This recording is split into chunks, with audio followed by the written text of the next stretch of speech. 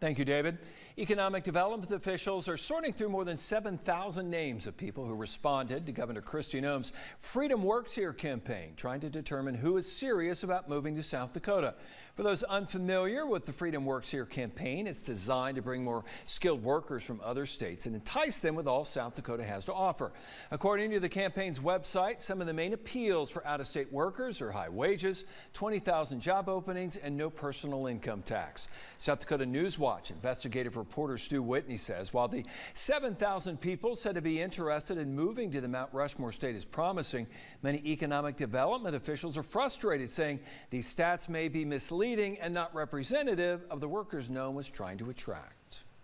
This is a multifaceted, complex issue in terms of workforce recruitment a couple commercials, you know, that get some nationwide play are not going to solve the, this issue. But I think some people are frustrated by this uh, more of a political uh, approach to this rather than uh, uh workforce recruitment strategies that is going to take, you know, a statewide uh, cooperation to really have an impact.